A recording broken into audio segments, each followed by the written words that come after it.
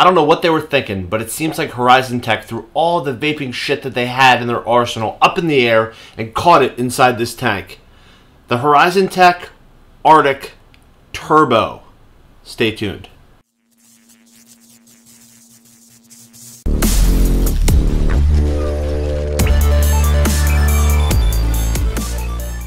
Hello and welcome to the Vapor Chronicles. We've had a lot of RTAs and we've had a lot of temperature controlled devices. It's time to go back to what we were tired of a few months ago sub-ohm Clearos. Two in a row. The first one up is, well, it's called the Arctic Turbo from Horizon Tech, makers of the original Arctic tank. And the Horizon Tech Arctic Turbo is a huge freaking tank. Now, it's not huge in juice capacity. Kind of weird, right? Looks like it holds a shit ton of juice, but it really doesn't. 3.5 milliliters of juice in this huge tank. And when I say huge tank, well, sub tank mini. Okay, it's big. It's real big. But what does it do? It's supposed to provide cool clouds of vapor, tons of it, because this thing has a sextuplet coil system. And I'm going to call it a system because it's not one coil head, it's three small coil heads that are each 0.6 ohms that make 0.2 ohms when you combine all three together. Um, this thing has frickin' fan blades in it. It has top fill. It has one coil, two coil, three coil options. Um, adjustable airflow on the bottom and the top. It's just it's a there's a lot going on here, so it's going to take a while. Let's dive in and let's check out what it does and how it works and how it vapes. All right, let's dive in. Here is everything that was sent from my vapor store. We have the Arctic Turbo bottom sextuplet coil sub-ohm tank, and we have the Arctic Turbo spare uh, bottom sextuplet coil. Both of them. They give us two packs, so we're going to put them aside.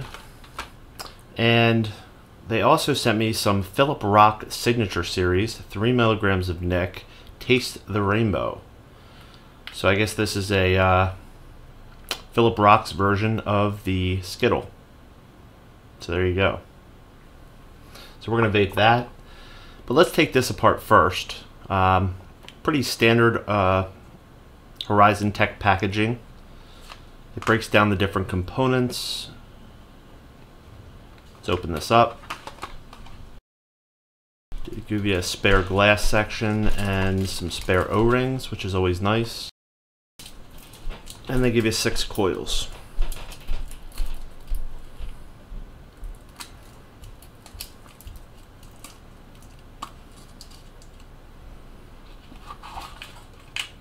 And that's it.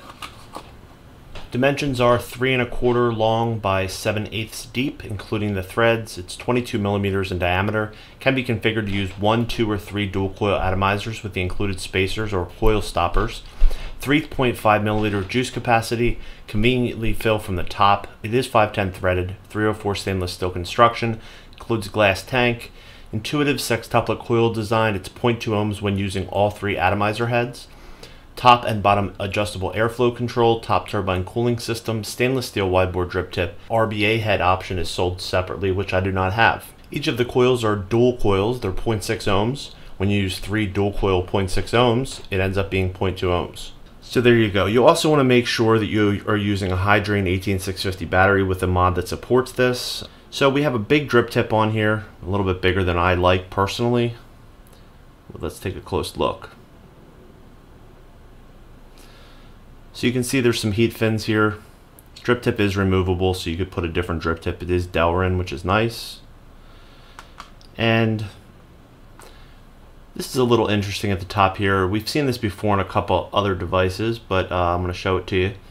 This has a cooling fan that also helps with uh, cooling the vape and also with spit back that you get in your mouth. I'm not a huge fan of it, um, but we'll try it with it on. You can take it out if you want to. Um, to see it, you just grab here and just spin counterclockwise.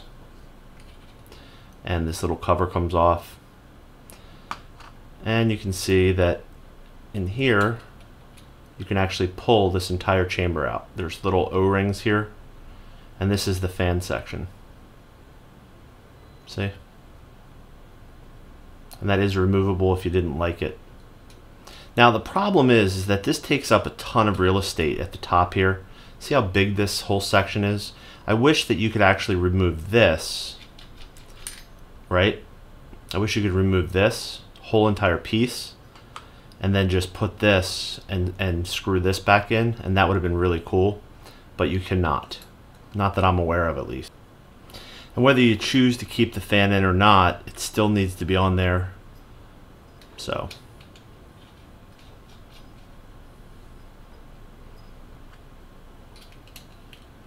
So normally you wouldn't even unscrew this.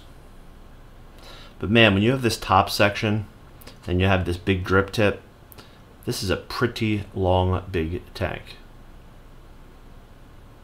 To compare it, this is the Melo 2 top fill.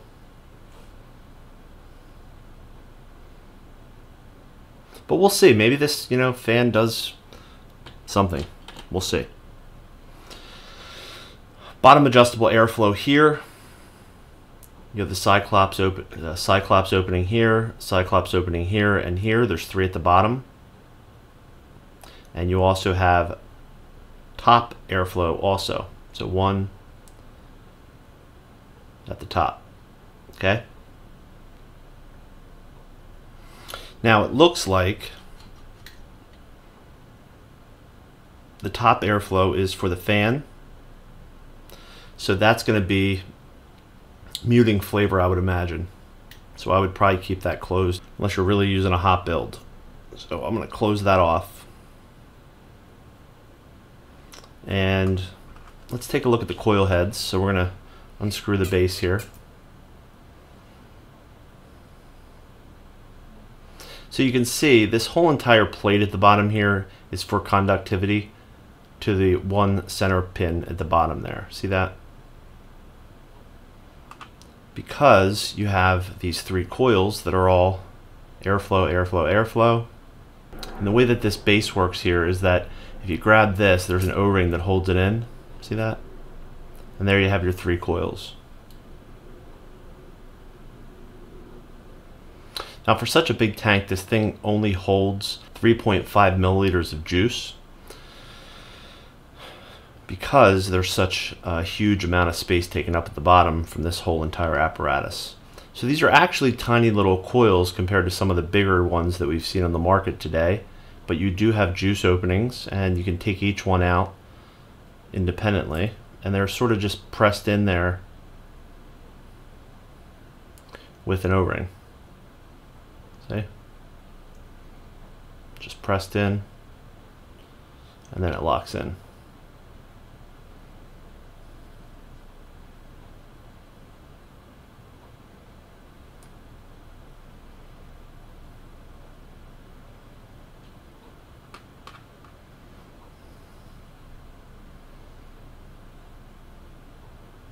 Vertical coil, 0.6 ohm, juice opening.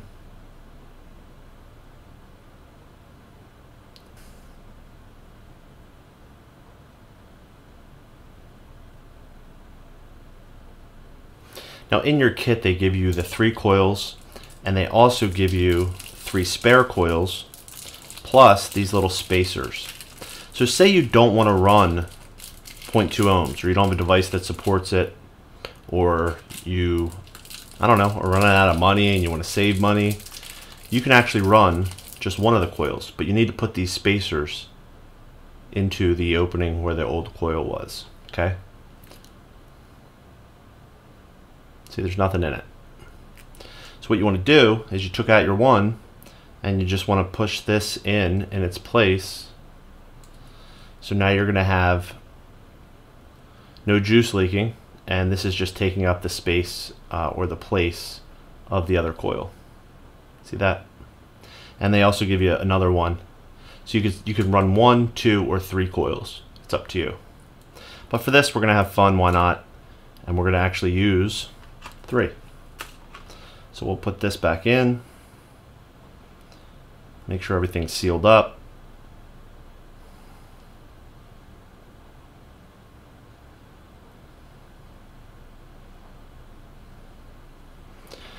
And once you push this in, there should be a little bit of space still.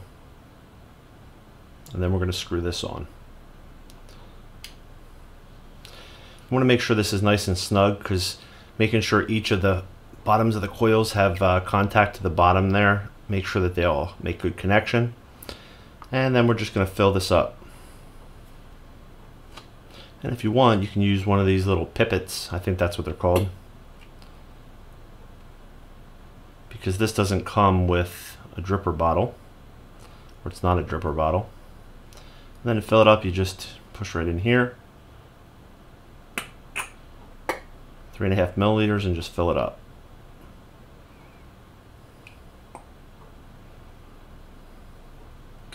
So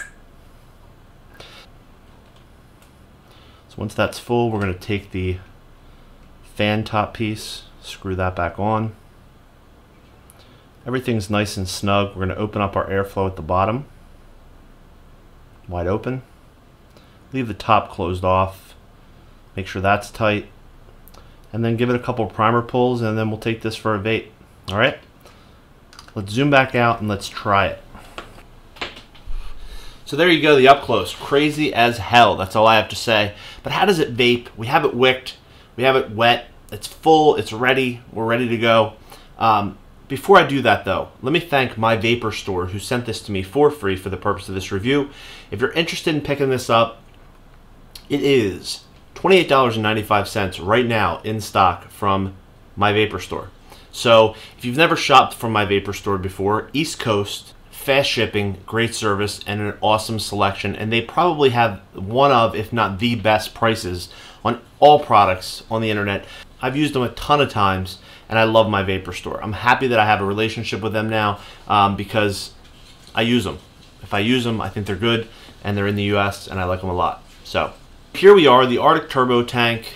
Uh, the air fan thing is in here, and thank God it doesn't go. Now, I can feel it, but mm, it doesn't really affect me too much. And once it gets lubricated from the juice inside your tank, it actually quiets down a little bit. So let's send some vapor through there. Right now I have this at 90 watts, 0.22 ohms on the Wismec Reuleaux, and uh, I figured why not for a big huge tank use a big huge mod that has power, the Reuleaux.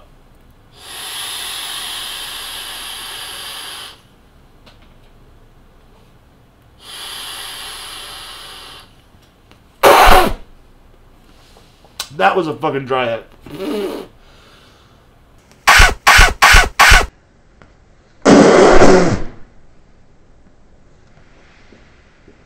That was a fucking dry hit.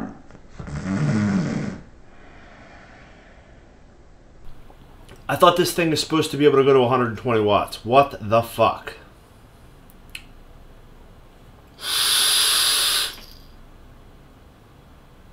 That was a dry hit. What the fuck?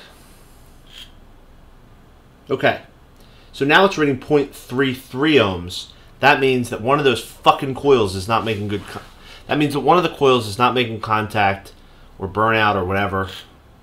Yeah, it's bullshit.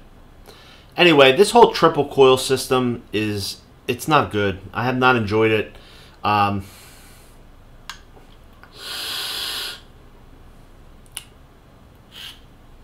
Let me take this off. Fuck.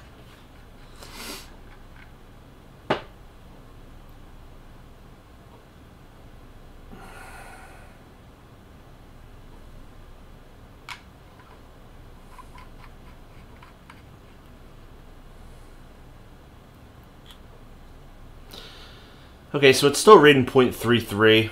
Let's see if it, uh, if I get dry again, I'm done.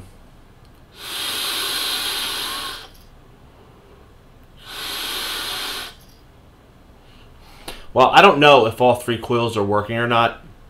Um, that's the problem.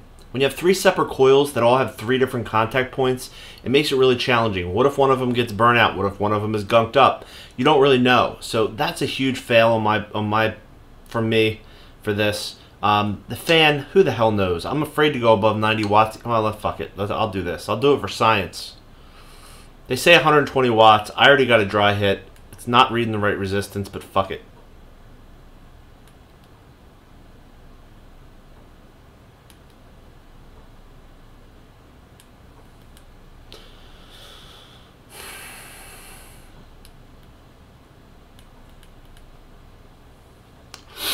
I'm gonna make sure this shit gets wet first. All right, let's do it. 120 watts. And we're at the right volts, so let's do it. Here we go.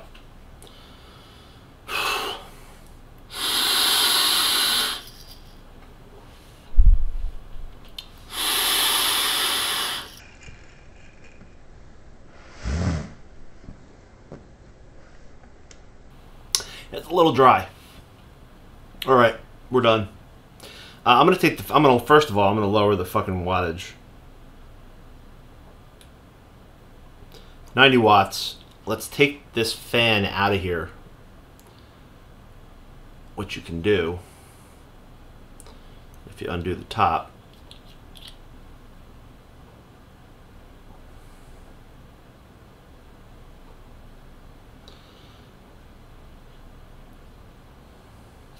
And the fan comes out. So you still have to leave the fan cavity in place. I don't know how that's going to perform, but. And this thing was sitting and wicking for like an hour. And this juice is a 65 VG juice. It's not a real thick juice, so it should be fine. By the way, the Philip Philip Rock Taste the Rainbow or Vape the Rainbow, delicious. If you like Skittles, spot on Skittles, fruity, flavorful, sweet, delicious. Um, I'm really enjoying it.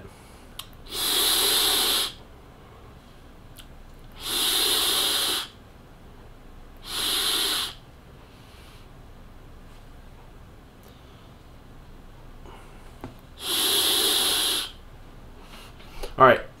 So with the fan out, it's actually less smooth because now the air goes up in this chamber up here, and uh, it just sort of gets a hollow feeling. Not to mention, it's a big fat waste of space. Uh, the flavor and the vapor production are good.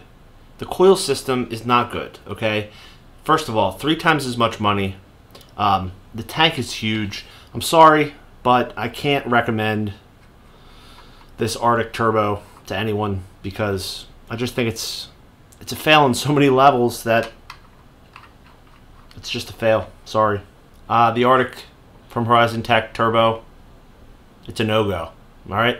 Thanks for watching this edition of the Vapor Chronicles. I got a whole lot more where this came from. I'll see you soon. Ah. oh, hold on. I don't know what they were thinking, but Horizon Tech sure threw all the